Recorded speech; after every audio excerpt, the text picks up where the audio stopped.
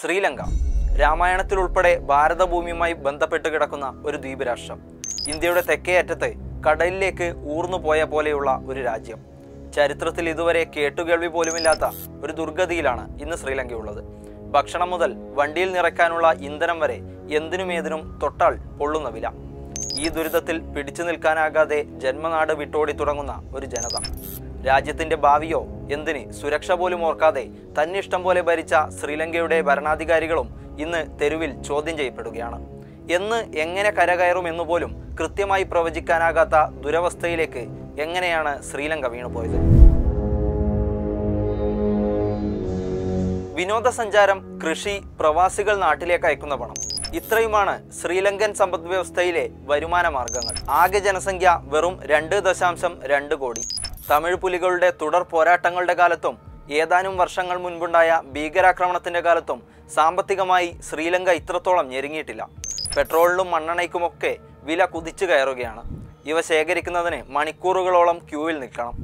അവിടങ്ങളിലെ തർക്കങ്ങളും സംഘർഷങ്ങളും മരണങ്ങളും തുടർക്കഥയാവുകയാണ് മരുന്ന് ഭക്ഷണം എന്നിവ അടക്കമുള്ള അവശ്യ വസ്തുക്കൾക്കെല്ലാം ക്ഷാമമാണ്. ലഭ്യമാകുന്നവയ്ക്ക് തീപിടിച്ച വിലയും നൽകണം. പ്രസിഡന്റിന്റെയും മറ്റും രാജി ആവശ്യപ്പെട്ട് പ്രതിപക്ഷ പാർട്ടികളും ആയിരക്കണക്കിന് ജനവും കൊളംബോ തെരുവുകളിലുണ്ട്. കലാപങ്ങൾ ഉണ്ടാകാതിരിക്കാൻ സൈന്യത്തെ വിന്യസിക്കേണ്ട അവസ്ഥയിലാണ് ഇന്ന് ശ്രീലങ്കയുള്ളത്.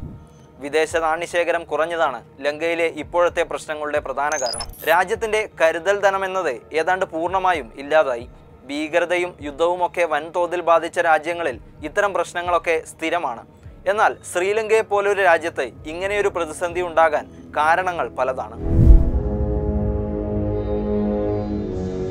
എൽ ടി ടി ഇയെ അടിച്ചമർത്തിയ കാലശേഷം മഹീന്ദ രാജപക്സെയാണ് ശ്രീലങ്കയിൽ ഭരണത്തിൽ. ലങ്കയുടെ മുഖം മാറ്റാനുള്ള വികസന പരിപാടികളുമായി ചൈന പ്രധാനമായും കടന്നു വരുന്നത് ഈ ഘട്ടത്തിലാണ്. ദേശീയ പാതകളടക്കമുള്ള റോഡുകൾ കൊളംബോ മോടി പിടിപ്പിക്കൽ ഗ്രാമീണ മേഖലയിലെ അടിസ്ഥാന വികസനം എന്നിവയൊക്കെയായിരുന്നു ലക്ഷ്യം. കോടികൾ ചെലവാക്കിയ പദ്ധതികളായിരുന്നു ഇവയെല്ലാം. ചൈനയിൽ നിന്നും വായ്പാ രൂപത്തിലാണ് ഈ പണമൊക്കെ ഒഴുകിയെത്തിയത്.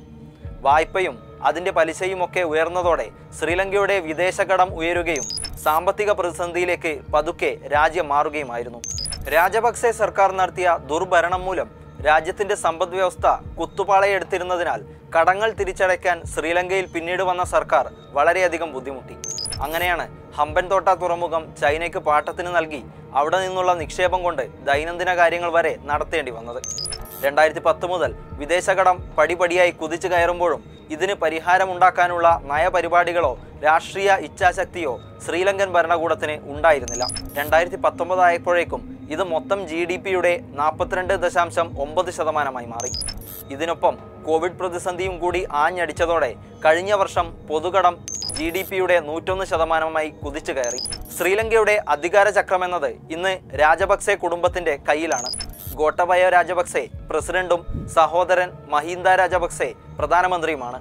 മറ്റ് സഹോദരങ്ങളായ ബേസിൽ ധനമന്ത്രിയും ചമാൽ കൃഷിയടക്കമുള്ള പ്രധാന വകുപ്പുകൾ കൈകാര്യം ചെയ്യുന്ന മന്ത്രിയുമാണ്.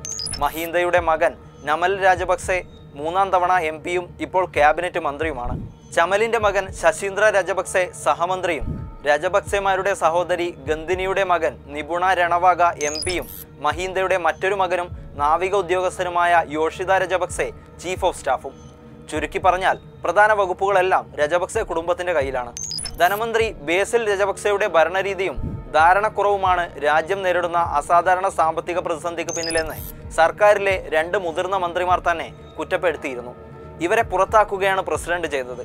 പ്രതിസന്ധികളിൽ സമയത്തിന് ഇടപെടാനോ പരിഹരിക്കാനോ രജപക്സെമാർക്ക് സാധിക്കുന്നില്ലെന്നതാണ് സത്യം. ഇന്ധനം വാങ്ങാൻ ഡോളർ ഇല്ലാത്തതാണ് പ്രതിസന്ധിക്ക് കാരണമെന്നാണ് അധികൃതർ പറയുന്നത്. കൈവശമുള്ള വിദേശ നാണയ ശേഖരമാകട്ടെ മുൻപെടുത്ത ചൈനീസ് വായ്പകളുടെ പലിശ അടയ്ക്കാൻ പോലും തികയുന്നില്ല. പ്രതിസന്ധിക്ക് കാരണങ്ങൾ വേറെയുമുണ്ട്. സമ്പദ് വ്യവസ്ഥയ്ക്ക് അടി പതറുന്നത് തിരിച്ചറിഞ്ഞ് യു എസ് ഡോളറുമായുള്ള വിനിമയത്തിലെ നിയന്ത്രണം നീക്കി ശ്രീലങ്കൻ രൂപയെ സ്വതന്ത്ര വിനിമയ വ്യവസ്ഥയിലാക്കാൻ സർക്കാർ തയ്യാറാകുമെന്നായിരുന്നു പരക്കെയുള്ള വിശ്വാസം.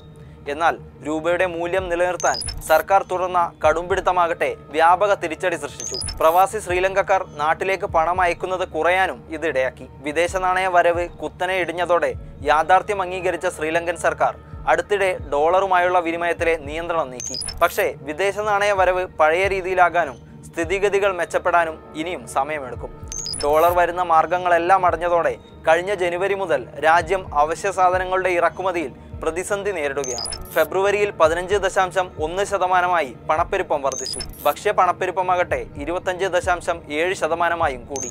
നാനൂറ് ഗ്രാം പാൽപ്പൊടിക്ക് ഇരുന്നൂറ്റമ്പത് രൂപ വർദ്ധിപ്പിച്ചതോടെ ചായയുടെ വില നൂറ് ശ്രീലങ്കൻ രൂപയായി. വിനിമയ നിരക്കിൽ ഇത് ഇരുപത്തേഴ് ഇന്ത്യൻ രൂപ വരും. ക്രൂഡ് ഓയിൽ ഇറക്കുമതി ചെയ്യാൻ പണം ഇല്ലാതായതോടെ രാജ്യത്തെ ഏക അസംസ്കൃത എണ്ണ ഉൽപ്പാദനശാല ശ്രീലങ്ക അടച്ചിട്ടു. ഇന്ധനം ഇന്ധനമില്ലാതായതോടെ വൈദ്യുതോൽപാദനം കുറഞ്ഞ് മണിക്കൂറുകളോളം പവർ കട്ടായി. രണ്ടായിരത്തി പത്തൊമ്പതിൽ പ്രസിഡന്റ് പദവിയിലേക്കുള്ള പ്രചാരണത്തിനിടയിൽ ഗോട്ടബയ രാജപക്സെ നടത്തിയ വാഗ്ദാനമായിരുന്നു പത്ത് വർഷത്തിനുള്ളിൽ രാജ്യത്തെ കൃഷി പൂർണമായും ജൈവമാക്കുമെന്ന്. അങ്ങനെ കഴിഞ്ഞ വർഷം ഏപ്രിലിൽ രാസവളങ്ങളും കീടനാശിനികളും ഇറക്കുമതി ചെയ്യുന്നതും ഉപയോഗിക്കുന്നതും രാജ്യമൊട്ടാകെ അങ്ങ് നിരോധിച്ചു കളഞ്ഞു. ഇരുപത് ലക്ഷം വരുന്ന കർഷകരോട് ജൈവവളങ്ങൾ ഉപയോഗിക്കാനും സർക്കാർ നിർദ്ദേശിച്ചു. രാജ്യത്തെ അരി ഉൽപാദനം ആദ്യ ആറു മാസത്തിൽ തന്നെ ഇരുപത് ശതമാനത്തോളം ഇടിഞ്ഞുപോയി. അതുവരെ അരിയുടെ കാര്യത്തിൽ സ്വയം പര്യാപ്തമായിരുന്ന ശ്രീലങ്കയ്ക്ക് നാൽപ്പത്തഞ്ച് കോടി ഡോളറിന്റെ ഭക്ഷ്യധാന്യം ഇറക്കുമതി ചെയ്യേണ്ടി വന്നു. അരിവില അമ്പത് ശതമാനം കൂടി. ശ്രീലങ്കയുടെ വിദേശ നാണ്യ വരുമാനത്തിലെ പ്രധാന മാർഗങ്ങളിലൊന്നായ തേയില കയറ്റുമതിയും ഇതോടെ തകർന്നു. ഒടുവിൽ കഴിഞ്ഞ നവംബറിൽ തേയില റബ്ബർ തേങ്ങ തുടങ്ങി നിരവധി വിളകൾക്ക് രാസവളം ഉപയോഗിക്കാനുള്ള നിരോധനം ഭാഗികമായി സർക്കാർ പിൻവലിച്ചു. ശ്രീലങ്കയിൽ ഇരുപത് ലക്ഷം കർഷകരാണ് ആകെയുള്ളത്. എന്നാൽ ജനസംഖ്യയിൽ എഴുപത് ശതമാനം പേരും നേരിട്ടോ അല്ലാതെയോ ഈ മേഖലയുമായി ബന്ധപ്പെട്ട് പ്രവർത്തിക്കുന്നവരാണ്. രണ്ടായിരത്തി പത്തൊമ്പതിൽ മുന്നൂറ്റമ്പത് കോടി കിലോ നെല്ലാണ് ശ്രീലങ്കയിൽ ഉൽപ്പാദിപ്പിച്ചതെങ്കിൽ നിരോധനത്തോടെ നാൽപ്പത്തി മൂന്ന് ശതമാനത്തിന്റെ വരെ കുറവുണ്ടായി എന്നും കണക്കുകളുണ്ട്. മുൻപ് തന്നെ സാമ്പത്തിക പ്രതിസന്ധി ഉണ്ടെങ്കിലും കോവിഡ് വ്യാപനത്തോടെ വിനോദസഞ്ചാര മേഖലയ്ക്കുണ്ടായ തിരിച്ചടിയാണ് തകർച്ച പെട്ടെന്ന് പ്രതിഫലിക്കാനുള്ള മറ്റൊരു കാരണം. മൂന്ന് ലക്ഷത്തോളം പേർക്ക് തൊഴിൽ നഷ്ടപ്പെടുകയും അഞ്ച് ലക്ഷത്തോളം പേർ പുതുതായി ദാരിദ്ര്യരേഖയ്ക്ക് താഴെയാകുകയും ചെയ്തു. കഴിഞ്ഞ ജൂലൈ സെപ്റ്റംബർ പാദത്തിൽ സമ്പദ് വ്യവസ്ഥ ഒന്ന് ദശാംശം അഞ്ച് ശതമാനമായി കുറഞ്ഞു. വിനോദസഞ്ചാര മേഖല തകർന്നതോടെ വിദേശ നാണ്യം പ്രധാനമായി ലഭിച്ചിരുന്ന മാർഗമാണ് പൂർണമായും അടഞ്ഞുപോയത്. രണ്ടായിരത്തി പത്തൊമ്പത് ഈസ്റ്റർ ഞായറിന് പള്ളികളിലും ആഡംബര ഹോട്ടലുകളിലും ഉണ്ടായ ഇരുന്നൂറ്റി എഴുപത് പേർ കൊല്ലപ്പെട്ട സ്ഫോടനങ്ങൾ ശ്രീലങ്കയുടെ വിനോദസഞ്ചാര മേഖലയ്ക്കുണ്ടാക്കിയ തിരിച്ചടി ചില്ലറയൊന്നുമല്ല. രണ്ടായിരത്തി പത്തൊമ്പതിലെ സ്ഫോടനങ്ങൾക്ക് ശേഷം വിനോദസഞ്ചാരികൾ പതിയെ വന്നു തുടങ്ങുമ്പോഴാണ് തിരിച്ചടിയായി കോവിഡും എത്തുന്നത്. ശ്രീലങ്കൻ പ്രവാസികളിൽ നിന്നുള്ള വരുമാനം നിലച്ചതാണ് പ്രശ്നങ്ങൾക്കുള്ള മറ്റൊരു കാരണം. രണ്ടായിരത്തി ഇരുപത്തി ഒന്നിൽ അഞ്ഞൂറ്റി നാൽപ്പത്തി ഒമ്പത് കോടി ഡോളർ മാത്രമാണ് ഇത്തരത്തിൽ ശ്രീലങ്കയിൽ എത്തിയതെന്ന് ഔദ്യോഗിക കണക്കുകൾ പറയുന്നു. പത്ത് വർഷത്തിനിടയിലെ ഏറ്റവും കുറഞ്ഞ തുകയാണിത്. എന്നാൽ ഡോളർ രൂപ നിരക്കിലുണ്ടായ വ്യത്യാസത്തോടെ ഡോളർ കരിഞ്ചെന്ന കൂടിയതാണ് പ്രവാസികളിൽ നിന്നുള്ള വരുമാനത്തിൽ കുറവുണ്ടാകാൻ കാരണമെന്നും വാദങ്ങളുണ്ട്. ഒരു ഡോളറിന് ഇരുന്നൂറ്റി പത്ത് രൂപ വരെ മാത്രം ഔദ്യോഗിക വിനിമയ നിരക്കായി കിട്ടുമ്പോൾ കരിഞ്ചന്തയിൽ ഇത് ഇരുന്നൂറ്റി അമ്പത് രൂപ വരെയാണ്. അതുകൊണ്ട് തന്നെ പലരും ഈ മാർഗം ഉപയോഗിക്കുന്നു. ചെലവ് നിയന്ത്രിച്ചും നിക്ഷേപ പലിശ നിരക്ക് ഉയർത്തിയുമൊക്കെ ആകണം ഈ പ്രതിസന്ധി ശ്രീലങ്കയ്ക്ക് മറികടക്കാൻ. എന്നാൽ അത്തരത്തിലൊരു നീക്കം ആരംഭിച്ചിട്ടേയില്ല. വൈദ്യുതി ഇന്ധന ഉപയോഗം നിയന്ത്രിക്കണമെന്ന് ആഹ്വാനം ചെയ്യുന്ന മന്ത്രിമാരും ഉദ്യോഗസ്ഥരും ഒന്നും അത് സ്വയം പാലിച്ച് മാതൃകയാകാൻ തയ്യാറാകാത്തതും പ്രതിസന്ധി രൂക്ഷമാക്കുന്നു. നിലവിൽ ഇരുന്നൂറ് കോടി ഡോളറിന്റെ വിദേശ നാണയ ശേഖരമാണ് ശ്രീലങ്കയുടെ പക്കൽ അവശേഷിക്കുന്നതെന്നാണ് കണക്ക്. ഇക്കൊല്ലം വായ്പകളുടെ തിരിച്ചടവിന് മാത്രം എഴുന്നൂറ് കോടി ഡോളർ വേണം. രണ്ടായിരത്തി ഇരുപത് ഡിസംബറിൽ രജപക്സെയുടെ ഇന്ത്യ സന്ദർശനത്തിന് ശേഷം ഇന്ത്യ നൂറ്റി നാൽപ്പത് കോടി ഡോളർ സഹായമാണ് ഇതുവരെ ശ്രീലങ്കയ്ക്ക് നൽകിയിട്ടുള്ളത്. അഞ്ഞൂറ് ദശലക്ഷം ഡോളർ കടം നാനൂറ് ദശലക്ഷം dollar currency swap Asian clearing യൂണിയനുമായുള്ള loan ഡിഫർമെന്റിനായി അഞ്ഞൂറ് ദശലക്ഷം ഡോളർ തുടങ്ങിയവയാണ് ഇന്ത്യ നൽകിയ സഹായങ്ങൾ. ഏറ്റവും ഒടുവിൽ ഇന്ധന പ്രതിസന്ധി പരിഹരിക്കാൻ നാൽപ്പതിനായിരം ടൺ ഡീസൽ ശ്രീലങ്കയ്ക്ക് അടിയന്തരമായി നൽകുമെന്നും ഇന്ത്യ വ്യക്തമാക്കി. എന്നാൽ രാജ്യാന്തര തലത്തിൽ എത്രയൊക്കെ സഹായം ലഭിച്ചാലും ശ്രീലങ്കൻ സമ്പദ് വ്യവസ്ഥയിൽ പെട്ടെന്നൊരു തിരിച്ചുവരവ് സാധ്യമല്ലെന്നാണ് സാമ്പത്തിക വിദഗ്ധർ പറയുന്നത്.